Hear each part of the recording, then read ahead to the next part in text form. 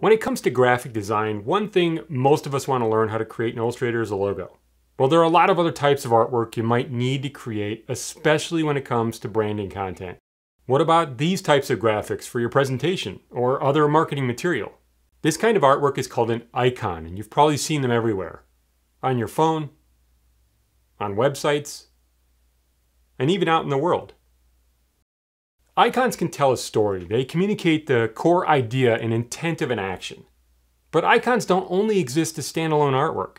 Sometimes they're combined with text and other elements to create the logos we mentioned earlier. For some of the examples you see here, you could be thinking, aren't these just logos? The graphic part of a logo can be an icon, but notice how these are all different shapes and sizes. Now look at this example of a menu bar on a website. Each of these icons is the same size and has a similar appearance. Icon design is similar to logo design. In the real world, icon design is usually more exacting, especially if you're designing icons for like user interface elements, like buttons in an app.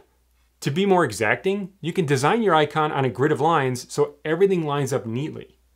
Now, if you went through the logo course, you've seen how creating artwork is about combining shapes and color. In this tutorial, you'll see how to make a uniform set of icons you can use across different marketing materials.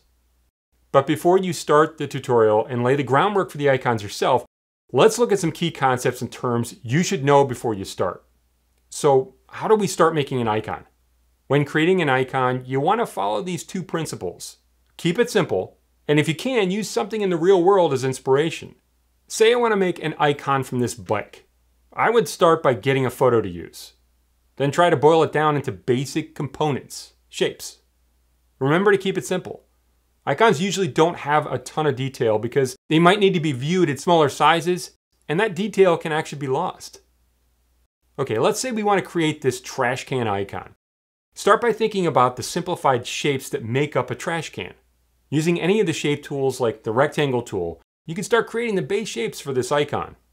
To make it more like what we want, you can use the direct selection tool and give the bottom of the can some contour. Now it almost looks right. Since a trash can usually has a lid and sometimes a handle, we can add those to make sure this looks a little more like a trash can and not a cupcake or something. We can add a handle by swapping the stroke and fill of a rectangle we make.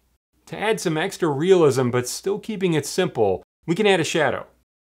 Starting with a line, you can split the trash can shape into two using the Divide Objects Below command. In this instance, you could just draw a line and put it on top, but as you become more familiar with Illustrator, you'll discover these types of commands and tools that can help you work smarter and become a more efficient designer. So let's recap.